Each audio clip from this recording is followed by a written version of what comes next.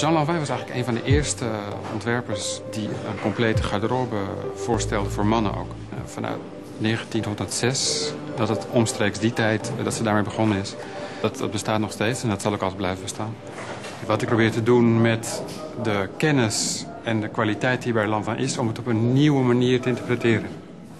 Maar luxe is, is voor mij ook iets wat heel erg persoonlijk is. Het is voor de klant zelf. En het is dingen die je niet per se aan de buitenkant ziet... maar die gewoon het kledingstuk bijzonder maken aan de binnenkant. Hoe mensen zich aankleden is iets wat juist de persoonlijkheid moet onderstrepen... en niet...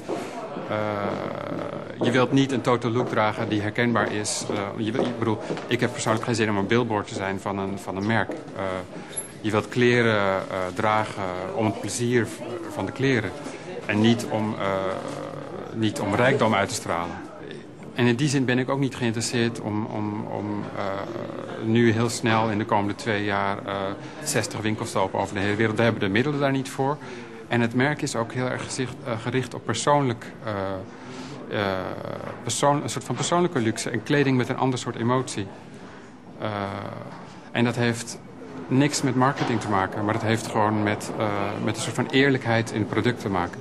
Als je bijvoorbeeld deze jas bekijkt.